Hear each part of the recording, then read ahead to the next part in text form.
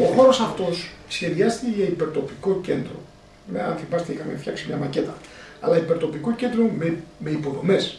Μάλιστα, προβλεπόταν στο Γενικό Πολεμικό Σχέδιο του Πειραιά και στο δικό μας Γενικό Πολεμικό Σχέδιο να συνδέεται το υπερτοπικό κέντρο με πεζόδρόμηση ενός δρόμου από το λιμάνι που να οδηγεί στο Κατράκιο, στο υπερτοπικό, με πεζό να έχω ένας χώρος περιπάτου που να καταλήγει στη Χαρκιδόνα από τον Πειραιά ναι, για να χρησιμεύει και στις γειτονιές πάνω του Πειραιά που συνορεύουν με την Νίκαια. Δυστυχώς αυτό δεν έγινε.